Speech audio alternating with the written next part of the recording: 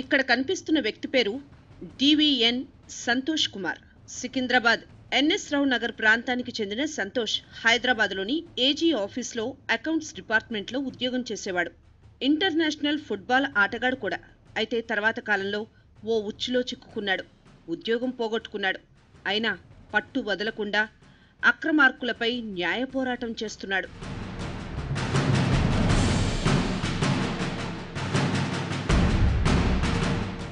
తాను ప్రభుత్వ ఉద్యోగి అయినా కుటుంబ ఆర్థిక అవసరాల కోసం ఓ ప్రైవేట్ చిట్ ఫండ్ కంపెనీలో చిట్టీలు వేశాడు.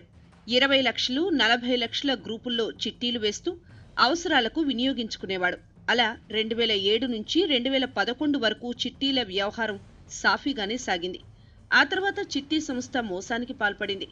తనకు రావలసిన ముప్పై ఒక్క లక్షల రూపాయల కోసం సంతోష్ ఆ చిట్టి నిర్వాహకులతో గొడవ పడ్డాడు చివరకు కోర్టును ఆశ్రయించాడు. ఇటువంటి చిట్ ఫండ్లని అరికట్టాలని చెప్పి మన ఇన్వెస్టిగేషన్ ఏజెన్సీస్ కూడా బాగా ఇనిషియేటివ్గా రెస్పాండ్ అవ్వాలి ఇమీడియట్గా ఎందుకంటే దీంట్లో మనీ సర్క్యులేషన్ ఎంత ఉందంటే మీరు అన్నోన్ అన్సీన్ మనీ సర్క్యులేషన్ ఉంది. ఆ money circulation it equals to the state budget వరకు కూడా ఉండొచ్చు.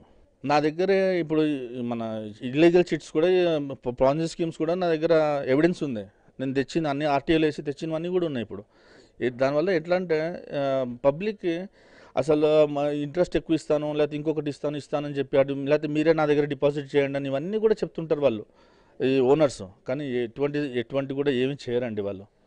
సంతోష్ తనకు జరిగిన అన్యాయంపై chit registrar CID economics offence wing vigilance శాఖలతో పాటు ఆర్బీఐ సెంట్రల్ విజిలెన్స్ కమిషన్ ప్రధానమంత్రి కార్యాలయంలో ఫిర్యాదులు చేశాడు.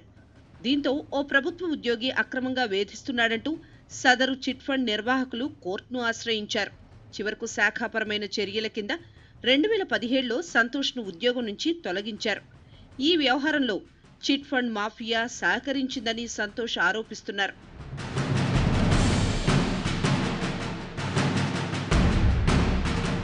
న్యాయ పోరాటంలో భాగంగా చిట్ ఫండ్ నిర్వాహకులు దర్యాప్తు బృందాలను తప్పుదోవ పట్టించేందుకు వారి సర్వర్లో డేటాను మార్చి ఒకే చిట్టికి సంబంధించిన స్టేట్మెంట్ను మూడు రకాలుగా ఇచ్చి రెడ్ హ్యాండెడ్గా చట్టానికి చిక్కారని సంతోష్ తెలిపారు. మొత్తం వ్యవహారం ఆర్బీఐ ద్వారా బయటకు రావడంతో బెదిరింపులు ఎక్కువయ్యాయని సంతోష్ పేర్కొన్నారు.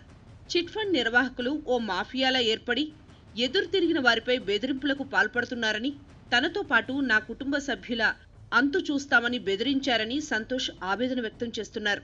ఇప్పటికే పలు దర్యాప్తు సంస్థలు చిట్ ఫండ్ మోసాలపై దర్యాప్తు మొదలుపెట్టాయన్నారు. తెలంగాణ రాష్ట్ర హైకోర్టు కూడా ఆరు వారాల్లో ఈ కేసు దర్యాప్తును పూర్తి చేయాలని రెండు వేల పంతొమ్మిది అక్టోబర్ నెలలో ఆదేశాలు ఇచ్చినా న్యాయం జరగలేదని వాపోయారు. నేను అంటుంది ఈ చిట్ ఫండ్ అంతా కూడా ఒక డేటాబేస్ ఇంటిగ్రిటీ కింద.